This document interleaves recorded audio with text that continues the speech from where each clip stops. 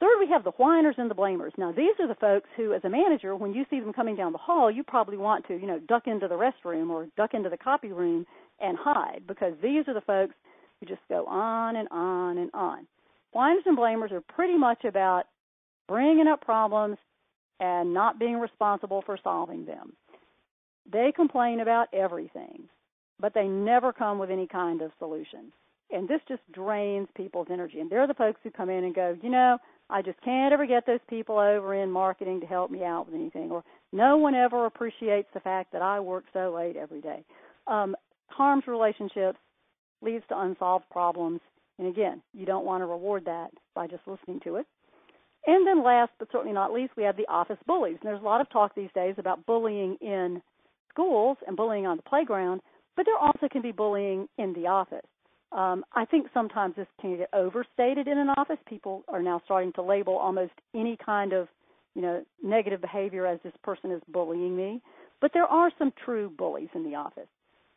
Bullies are people who are really insecure, and they have to deal with that insecurity by doing things that make them feel more powerful in terms of berating other people or dominating other people or in the case of one manager that I knew hijacking an entire leadership team, this was a senior leadership team because this is not limited to lower levels.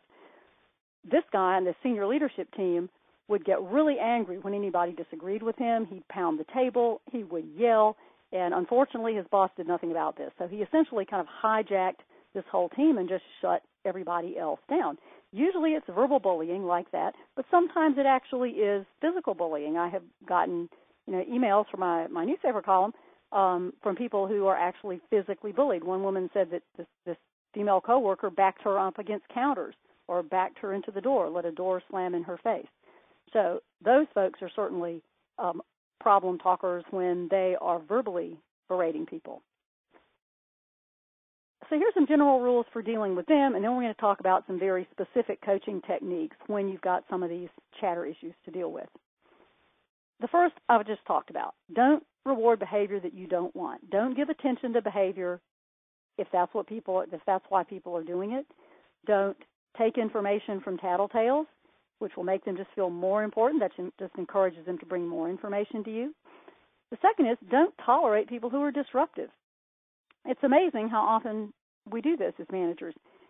This is what I call psychic management. That, and we're all guilty of this. Every manager on earth has done this from time to time. But as the manager, you see this disruptive behavior and you think about what a problem it is, but you just kind of put off doing anything about it or saying anything about it, kind of hoping it'll change or not knowing quite what to do.